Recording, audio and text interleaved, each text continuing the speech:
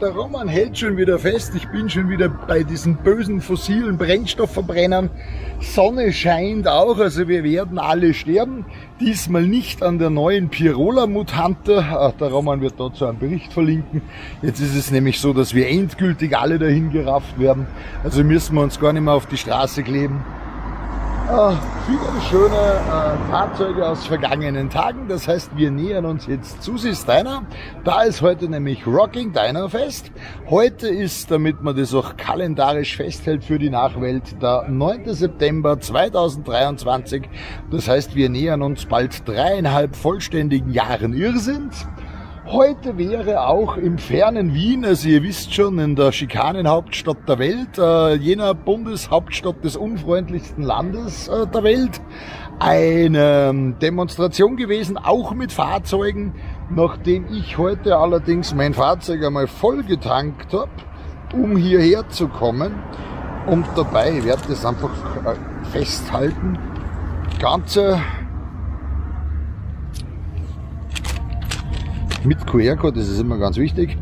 Äh, ganze 59,2 Liter getankt habe für sage und schreibe 100 Euro. Man muss dazu sagen, da sind inzwischen 10% Bioethanol dabei. Also eigentlich was CO2-neutral ist, weil ihr wisst ja, CO2, wir werden alle daran sterben. Deswegen ist es immer gut, wenn man Bäume umschneidet und stattdessen Windräder hinstellt.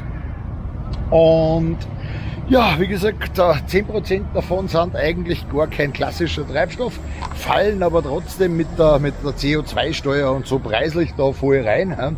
Kann richtig viel, hebt richtig die Laune, aber immerhin, ich habe jetzt immer noch 10 Euro plus, weil die Frau Leonore, die ja jetzt äh, quasi schon vor Wochen oder um nicht zu sagen schon vor Monaten angekündigt hat, dass der Klimabonus jetzt ausbezahlt wird, die wird ja jetzt demnächst ganze 110 Euro, wie gesagt, postalisch bereits vorangekündigt, an mich als österreichischen äh, Steuerzahler zurückzahlen.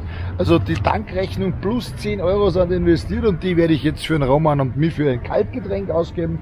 Und inzwischen schauen wir uns noch diese bösen, bösen, bösen, bösen, bösen Platz wegnehmenden, nicht elektrifizierten, äh, in böse schwarz gehaltenen Fahrzeuge und so an.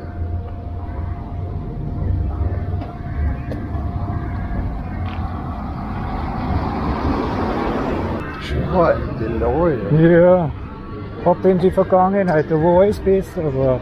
Genau. ja, ja sogar aus dem fernen Braunau ja, hat jemand eine Zeitreise gewagt und ist nach Salzburg gekommen mit dem einzigen jemals aus nicht rostendem Metall gebauten Fahrzeug. Trotzdem sind davon nicht viele übrig geblieben. Der geneigte Filmfan der geneigte Filmfan wird dieses Fahrzeug kennen aus Zurück in die Zukunft.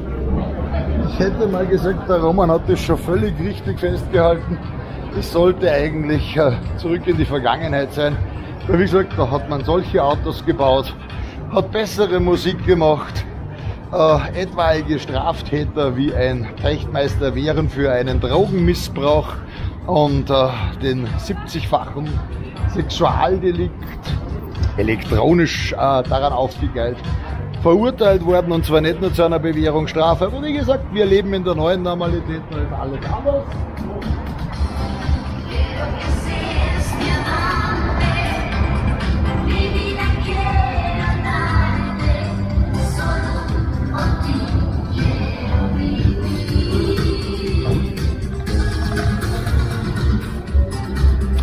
Ja, ja.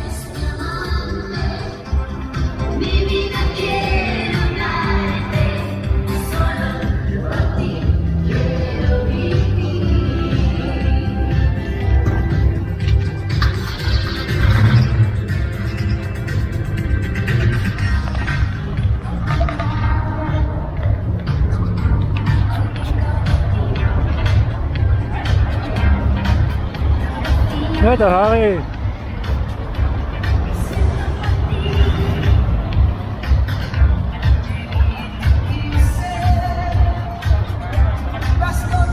Motorradtraktion ist auch vertreten. Ne? Auch noch aus der Abteilung Benzinfresser. So.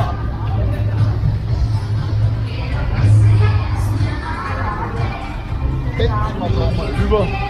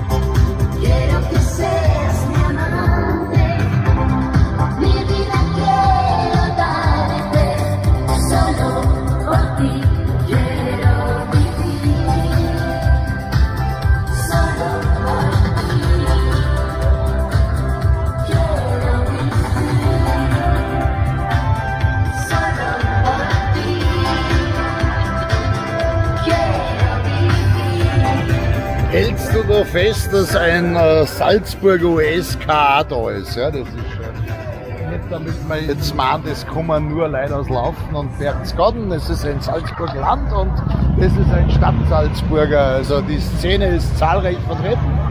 Ich vermute mal, der Rest ist nach Wien gefahren auf die Demo ja, Ja, unbedingt. und ist dort voll aktiv. Wien wird voll besetzt sein. ich bin, ich bin ein böser alter weißer Mann, der täuscht manchmal einen Sarkasmus vor. Howdy Partner, seid ihr wieder komplett. Ich der Schlüsselanhänger von Elvis und Elvis the King lebt, ne? Hallo. Ha? Ja, nein, Haare. Also Haare. Hallo. Hallo.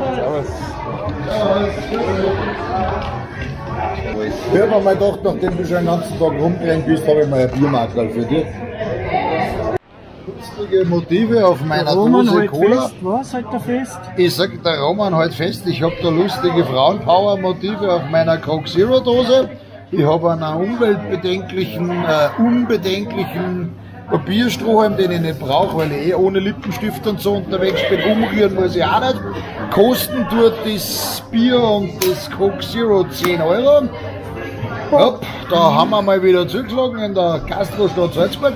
Aber nachdem Susi Steiner quasi ja äh, da ein bisschen für Grillerei und sonst was zu sorgen hat und ein, äh, ich hätte mal gesagt, Schurber-freundliches äh, gastronomisches Dasein geführt hat, Ja, letztens gab es die noch Sträume in Glas, gell? Wenn wir uns erinnern können. ja, die gibt's jetzt nur heute wegen der Party nicht, weil wenn da jeder mit Glasstrohhalm rumrennt, die Verletzungsgefahr. Ja, ja, die kleinen Kinder sind nicht freilaufen, das ist eh klar. Genau. Zum Ja. Wohl.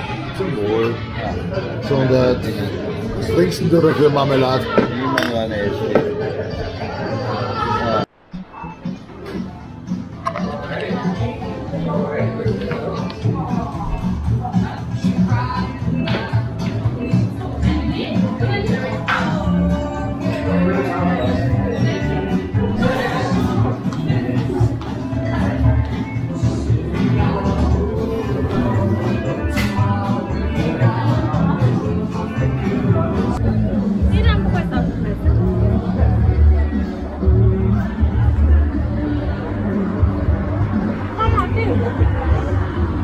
Haben Holzerwachs dazugekommen.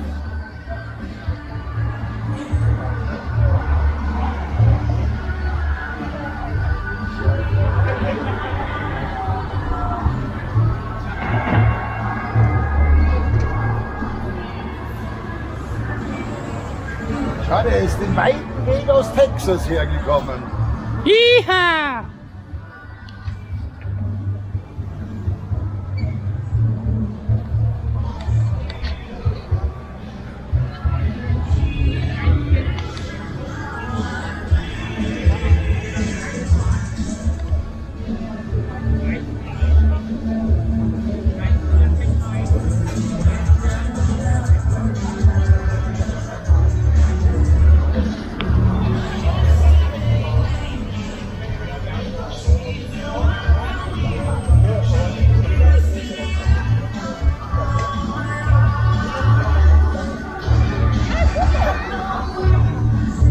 Der Coyote.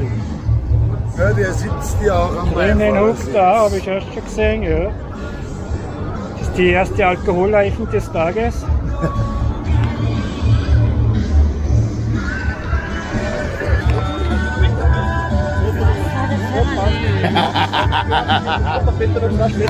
Ja, sicher, bring Aber sie fangen erklärt. Alles, alles gut, der Überraschung Alles gut, Susi, alles gut. Ja, Baby. Ja.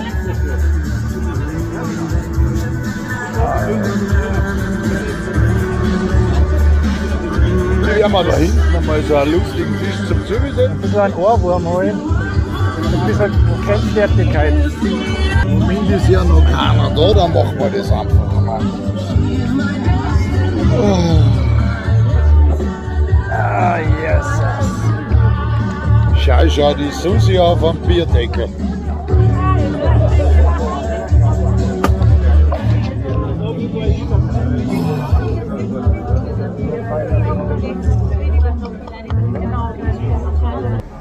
Der Raumann hat mich gerade aufgeklärt, dass heute benzinfreie Tage in der Stadt Salzburg sind und somit theoretisch der Obus und so weiter mal wieder kostenlos waren, was aber natürlich im Obus selber nicht äh, angegeben wird. Der Roman hat da mal ein Video gemacht. Ich finde es eigentlich total toll, dass ich für 100 Euro heute Sprit gekauft habe, wo wir benzinfreie Tage haben. Da sieht man wieder, ich bin sowas von bildungsfern und, und äh, rechtsradikal und äh, was man da sonst so ist. Das hätte ein Misanthrop im Bus verloren. Bus gefahren bin ich das letzte Mal irgendwann Anfang der 2000er. Weil das Problem ist, da müsste ich mit Menschen unterwegs sage, sein. was tut der Misanthrop drin? Das geht gar nicht. Also öffentlicher Verkehr ist eine tolle Sache, Öffi vorne scheiße. Aber nicht schlecht. Ja, ja, das ist auch noch aus der guten alten Zeit, als man Fahrzeuge noch gehört hat. Foto- und Videoaufnahmen sind während der Veranstaltung aus urheberrechtlichen Gründen leider nicht gestattet. Wir wünschen Ihnen viel Vergnügen. Die, die 350s, gell? Ich glaube nicht, dass die, wenn ich mir die Herrschaften so anschaue, so klassische Rock'n'Roll haben. Aber man wird sehen. Die Schwurbler erst. Immer, immer. Nummer 13. War nicht knapp daneben.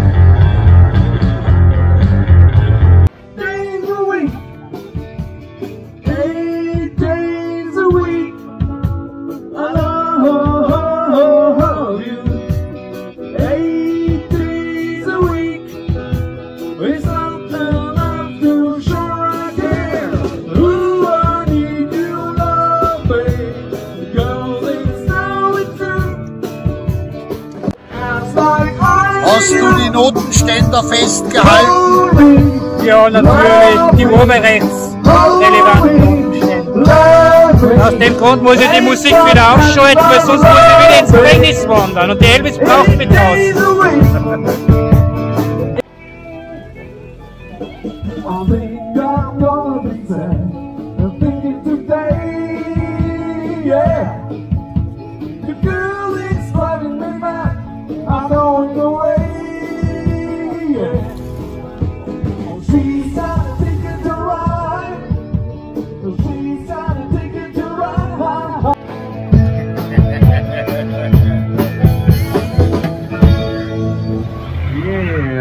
Dank.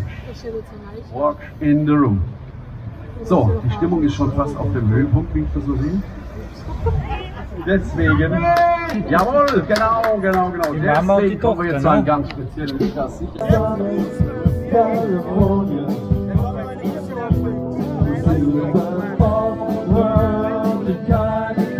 Also wir sagen es, die werden nicht besser. Ich würde ja sagen,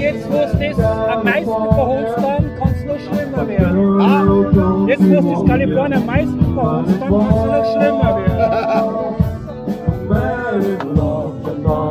feet. So, der rote ist jetzt auch weg. Ja, der muss aber heute noch laufen, zurückfahren. Was wäre? don't 18 you Uhr machen sie die Grenze wieder dicht. Das heißt, wenn die Campus früher haben, wird schlecht Wetter, oder?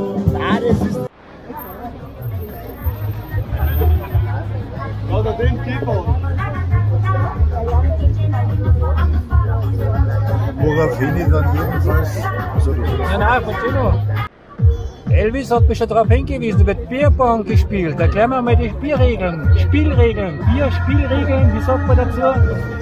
Aus Spielregeln wahrscheinlich, aber nachdem ich ja quasi kein Sympathisant der Kanzlerdoktrin von äh, Alkohol und oder Psychopharmaka bin, sondern da quasi jetzt ohne Powerfrau äh, im Sinne der amerikanischen Kriegstreiberei äh, zuckerfreie Limo trinke, kann ich über Bierbong wenig erzählen.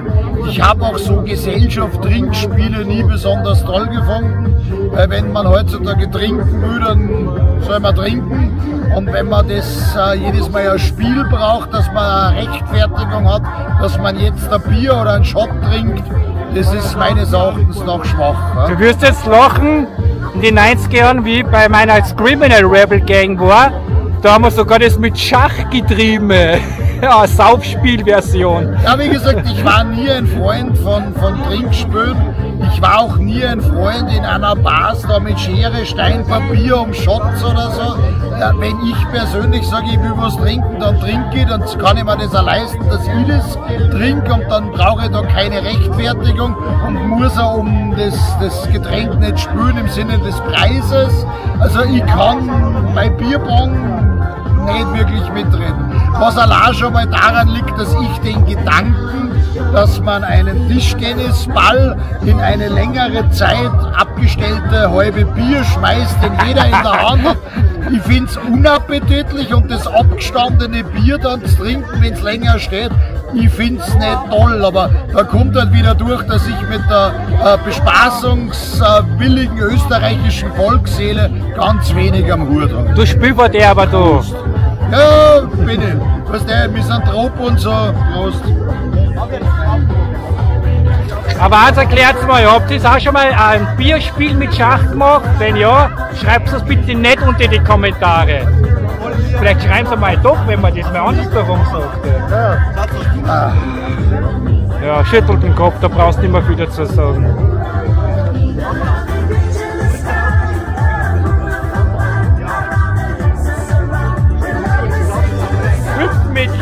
Mädchen, Röcklein, hüpf.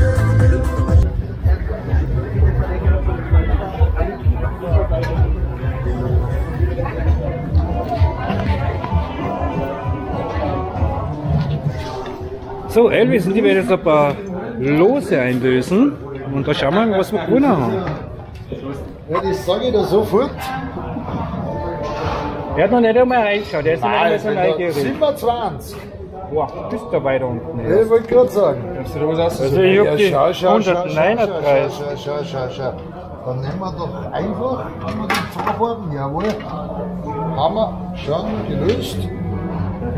Sei bedankt. Cooler Scheiß, cooler Ja, Scheiß.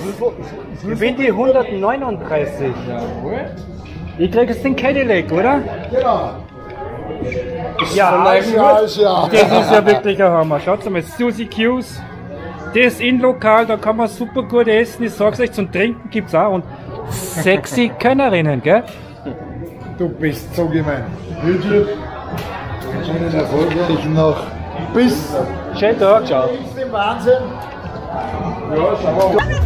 Tschüss. Seid ihr doch noch da? Ja, ja, wir haben jetzt äh, Tombola-Lose eingelöst, Ah, ja. haben der Bar gesagt und haben beschlossen, dass wir uns jetzt der Konservenmusik, bevor die Band wieder anfängt, entziehen. Passt auf.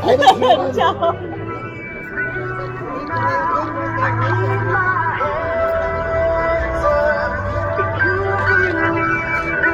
Elvis left the house. Na, Elvis geht jetzt quasi und schaut sich Plötzlich und unerwartet, meine Damen und Herren. Bitte in die Hände klatschen. Ich schaue mir da einfach noch einen schönen alten Europäer an. mit viel Liebe im Detail aufgestellt. Ah, den Wockel Elvis habe ich auch nur in Silber. Schön, schön. Au, joi, im Flechtkorb. Koffer. Boom 2.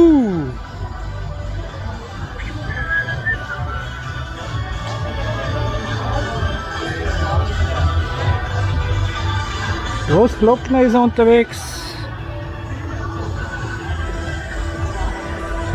Ja, damit hätte ich gesagt, verlassen wir äh, einen weiteren äh, unglaublich heißen Samstag. Wir werden alle sterben, verglühen und bitten uns jetzt einfach nur irgendwo in einen anderen Gastgarten ohne Fahrstuhlmusik, weil das ist heute jetzt da ein bisschen für die Allgemeinheit Partysound geworden, der ja nicht ganz meins ist.